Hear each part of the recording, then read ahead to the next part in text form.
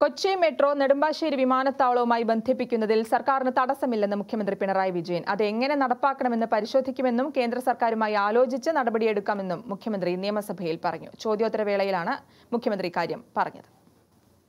Sir റെയിലുമായി ബന്ധപ്പെട്ട് എയർപോർട്ടുമായി ബന്ധപ്പെട്ട് metro ഉണ്ടാവുക എന്നുള്ളത് യാത്രക്കാർക്ക് വളരെ സൗകര്യം ഉണ്ടാകുന്ന ഒരു കാര്യമാണ്. അതിന് സർക്കാർ തടസ്സമല്ല. എങ്ങനെയാണ് നടപ്പാക്കാൻ കഴിയുക എന്നുള്ളത് നമുക്ക് കേന്ദ്ര ഗവൺമെന്റുമായി കൂടി ആലോചിച്ച് നടപടികൾ സ്വീകരിക്കാം.